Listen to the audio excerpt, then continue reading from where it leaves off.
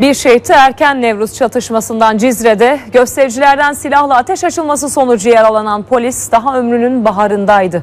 28 yaşında düğün yapmaya hazırlanıyordu, kurtarılamadı. Bugün Nevruz kutlamasının iptal edildiği Diyarbakır'da da polise el bombası atıldı. Yaralı polisin durumu iyi.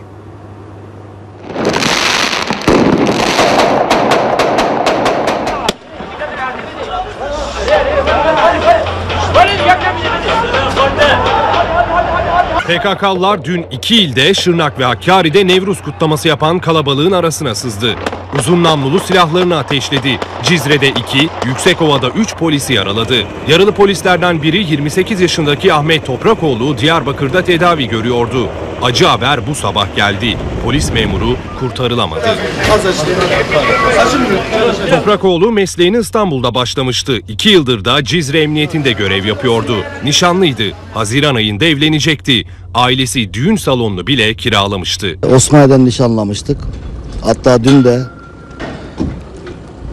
düğün salonunu kiraladık. Şehit polis memuru için Diyarbakır'da uğurlama töreni düzenlendi bugün. Ailesi, yakınları, meslektaşları son görev için toplandı. Şehit polis memuru Ahmet Toprakoğlu yarın Baba Ocağı Adana'da son yolculuğuna uğurlanacak. BDP İstanbul ve Ankara dışında bugün 10 ilde Nevruz'u kutladı. Bu kez kutlamalar izinliydi. Siirt'te olaylar çıktı.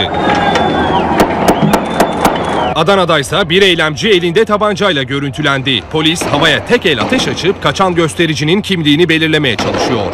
İçeri gir içeri. Hiç.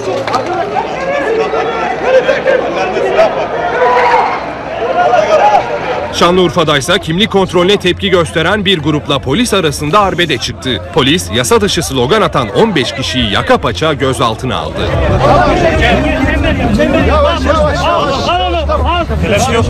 Bugünkü resmi Nevruz kutlamalarının iptal edildiği Diyarbakır'dansa polise saldırı haberi geldi.